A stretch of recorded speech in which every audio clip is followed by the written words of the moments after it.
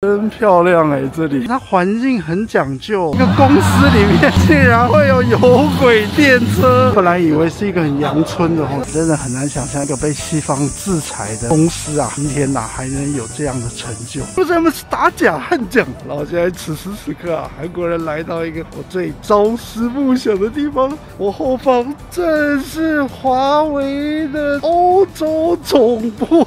那当然不是说在欧洲啦，是因为这个。总部它的这个设计啊，非常像一个欧洲村。听说啊，它的耗资也是几百亿。因为今天啊，是华为的二零二四年的开发者节啊，那这一场也是韩国人期待非常久啊。相信大家都知道啊，华为啊，非常的不容易啊，被这个西方的制裁，然后哇，现在根本可以说是浴火重生。前阵子因为 Mate 六零 Pro 那个手机一出来，哇，非常多人都非常惊讶，甚至很多评测。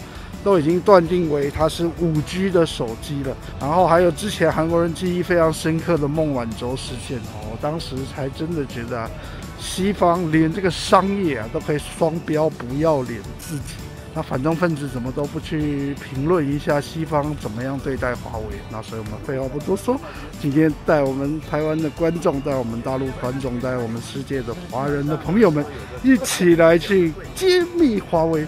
的总部吧，那我们 Let's go！各位韩国人已经在这个门口了，那这就是今天呐，华为的开发者大会。而且啊，它这个这次也用的非常的大哦，整路上都有它的这个旗帜啊。因为我们今天算是两点多才到哦，算比较晚来了，但陆续啊，还有非常多的外国人都有进来。你看远远的这个大草坪，HDC，真的很难想象一个被西方制裁的。公司啊，今天呐还能有这样的成就。待会我们就是先逛一下这个华为的欧洲小镇，算是第一次来参观啊。这也算是油管与台湾博主来说，应该蛮难得能进来的哈。因为平常我不知道有没有对外开放啊。尤其啊，这欧洲小镇啊，都是给这些华为的员工在这里工作的地方。看看这个环境。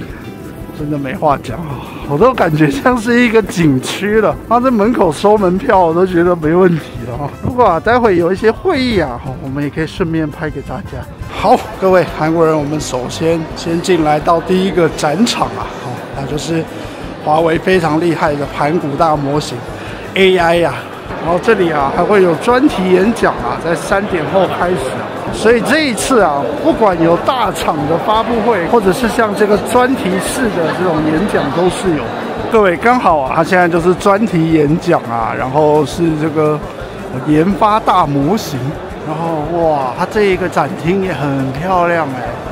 没想到华为的员工在这种地方上班哦。我觉得这个华为会用这种欧洲小镇啊。有些人会觉得啊，干嘛要用欧洲的呢？为什么不用我们中国文化呢？哈。但是对于我来说，我觉得我来这里，我觉得有一种新鲜感哦。其实创新人才啊，我个人觉得就是要多一点新鲜感，才会有新的 idea。没话讲哦，真的实际踏进来，你才知道这里做的真不错。好，各位看完第一个厅啊，哇！我们终于走到内部的欧洲小镇，哈哈哈哎呦，真漂亮哎！这里，天哪！哦，我看好多科技人才都在很仔细看他们发表，但是我真的是来这个走马观花的哦，难得能进来啊！哈，一定要带大家好好看看这里的环境哦，真的很难想象这竟然是一个公司。然后各位夸不夸张？你看。一个公司里面，他还跟你说，我们从这一区到这一区要两分钟走路，几分钟。对，因为我们现在在 F 区嘛，F 区叫巴黎哦。我们待会就是随便晃。各位，你知道吗？我就看到这个闸门，我才突然拉回现实。对，这个是上班的地方。我们员工看到我这样，就觉得哎，都已经看腻了，看腻了。好，各位，我们已经走到 F 区的，算是核心地段了哈。哇！我已经无法用言语去形容这里的环境了。其实你看，一个公司哦，我觉得能把一个草皮都能保养成这样，我已经觉得很夸张。以外，而且你看这里大道还要有这种接驳车。你看很多今天一起来这个活动的，一起合照。哇，真不愧是巴黎区诶！想象这里的员工要恋爱，应该蛮幸福的哈。这个。今天我们约在巴黎区哦。好哦，你看这河，它真的就是正常规格，我们在外面看到的这种小河水，这是一个公司。哎呦，我还是不敢想象哎。哎，我真的建议华为里面再放一些游乐设施哦，就变成那个迪士尼了哦，对不对？就变成滑泥了。哇，这太扯！而且真的，它环境很讲究，真的是让整个员工很放松。来来来来来，哦，你们以为刚刚那个小桥流水，这个步行街只是假的，走不下去吗？可以啊，来看看世界一流的企业，哇，弄的环境。真的能下来啊！只是工程师可能钓鱼的时间不太多啊，不然真的拎个钓竿就下来钓鱼了。你走在旁边，真的是想到周杰伦的《告白气球》，都可以在这拍 MV 了。刚刚啊，过完小桥流水啊，好走过来啊，这里还有咖啡厅，吃牛排了。这应该是华为的员工餐厅哦，哦，不错哎。哦，环境非常 OK 啊！哦，这里还有卖这华为的纪念品啊，这些就是专门卖给我们这些观光客的哦。还有他们的限定饼干哦。不错哦，我喜欢这种行销方式哦。它今天叫欧洲小镇啊，也不是随便用用那种欧风而已啊，不是啊，人家是真的把细节都融入到这里面哦。当然啦，它环境是比较新啊，像它这个随便的一个小小的入口啊，都会有这样的建筑啊。这个如果是在外面，很多都会成为这种网红楼梯啊，因为很多人可以在这拍照啊。到这里，然后带个小姐姐，然后跟她说，嗯，小美女。你要喝咖啡提 of me，都会觉得哎呀，想来下午茶了。你看，哇，这样看背景多漂亮啊！这很难想象，工程师走在这里，下一秒又要回去这个工作了哦，真的很难想象。你以为出国了？哇，各位好夸张哦！一个公司里面竟然会有有轨电车。天哪！惊呆惊呆哦！哇，刚好那是一个站呢，我们待会来去坐看看好不好？哎，真的坐的还不错哎哦。好，各位韩国人已经到火车站哦，就在旁边哈，非常的近。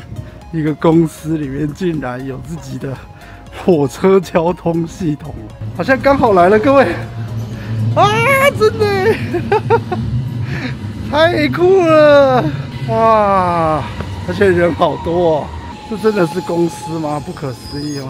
我们现在在 L 区的地方啊，这就是华为的交通运输系统啊，其实就跟一个地铁是一样的。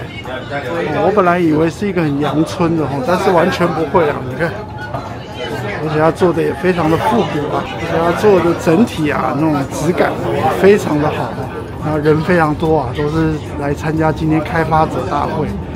而且它上面还写可以换成什么三号线。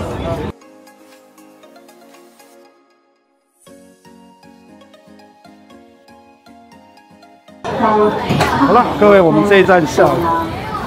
这一站是 H 区，这叫什么？克伦诺夫。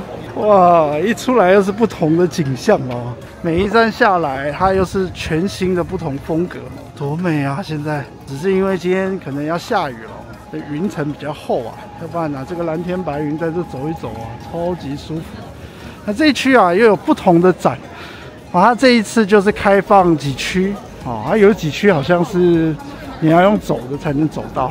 那这里就有好多这种专题论坛啊，有没有小姐姐区呢？哦，这两个不错哇，这里好漂亮哦。然后这里面啊，有很多可以体验的地方。哦，韩国人今天就没有一一去体验，也太大了，我们光拍就拍不完了。他们还在卖他们专门的文创雪糕，看，你看各位，哦，这闭上眼睛，再放一些长棍的面包，哦，这里真的就变成真的欧洲了。这里的咖啡店名字也很可爱，萨克咖啡。然后我刚刚这样远远看，哇，它在远方的这个建筑啊。它整个都是实的，它不是一个装饰啊，等于是那里都是一个办公室哦。哦，因为我刚刚有问他员工，他们说真的啊，很多这个你看这个一个塔，哦，这个也不是假的，这个就是里面也有人在办公的。好，各位，接下来下一站呢，我们来到 J 区一个大草皮一出来，然后它这里也是有不同的展览啊。你在华为约会真的是非常适合的哦。前面还有个大钟哎，我们待会去前面看一下。像这一区就很现代这种欧洲的建筑的感觉哦。像这个就是他们每一个办公的地方，真的就是长这样。哦，比如说这个是 J 区的 J 室嘛，小小的会客厅哦，那进去都要有他们的证件才能。进去哦，哇！你看前面还有一个大钟哎，而且做的也是非常的好哎，它真的已经超过那种我们有时候觉得那种欧风的游乐园有没有？有些游乐园想要做的很欧风，但是你一看它整个建材，你一看它整个感觉就只是外表，但这里不是啊，它是很扎实的哦。你真的你也可以看到里面那些办公的东西，我有看到那个桌子啊，还有。那种社畜们的小空间呐，哦。喜欢这个游子的创作者，就赶快去 follow 他哦。你有发现其他最具爆红潜力的影片吗？赶快投稿给达人秀吧，点击下方观看更多有趣内容。